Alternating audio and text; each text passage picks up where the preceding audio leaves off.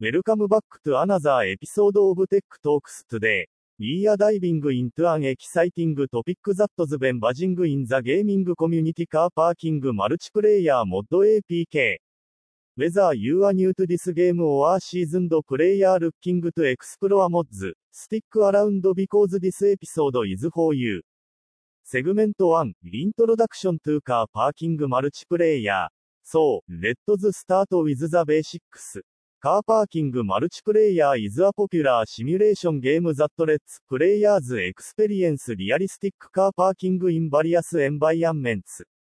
But it's not just about parking, there's a vast open world to explore, where you can walk around, drive different vehicles, and even engage in multiplayer race.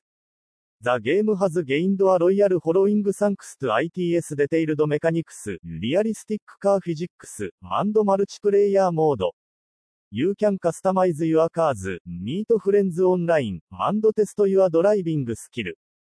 Segment 2 What is a mod APK? Before we jump into the specific mod for car parking multiplayer, let's break down what a mod APK actually is. A mod APK is a modified version of an Android app, often created by independent developers.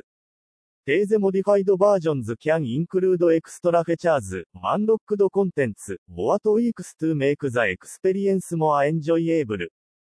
For car parking multiplayer, the mod APK unlocks various benefits that are usually locked behind in-app purchase or require long playtime to achieve.